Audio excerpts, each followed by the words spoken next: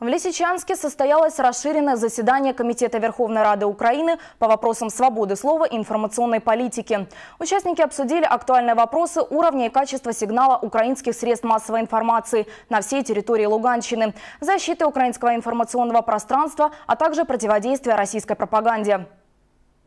Впервые заседание такого уровня прошло в нашей области. Я глибоко переконана, що саме через недоліки інформаційної політики держави Україна впродовж останніх 24 років ми маємо сьогодні війну. Надзвичайно важливо не тільки е, мати можливість показувати, треба показувати ті речі, яким будуть вірити і які будуть мати вплив.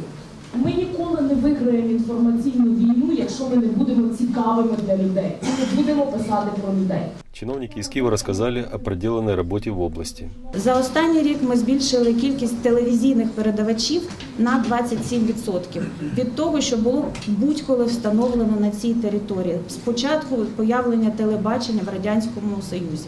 На совещании говорилось об областной телерадиокомпании ЛОТ, которая имеет наибольшее покрытие по вещанию на территории области.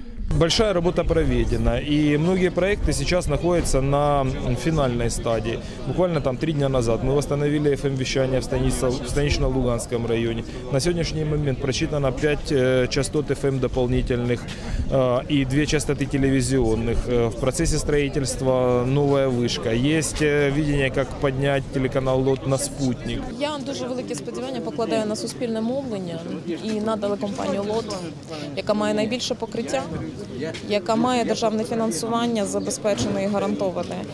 І я дуже сподіваюся на вашу енергію. У вас молодий чудовий колектив Що ви будете бачити ключові речі, які потрібні сьогодні людям. Людям треба давати надію. Надія береться з реальних справ. Місцеву владу треба стимулювати до цих реальних справ. Це теж завдання журналістів. Проводити розслідування, показувати проблеми і примушувати владу щоденно їх вирішувати.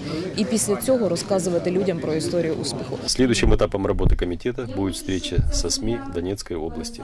Валентин Сычев, Роман Царевский, Падии.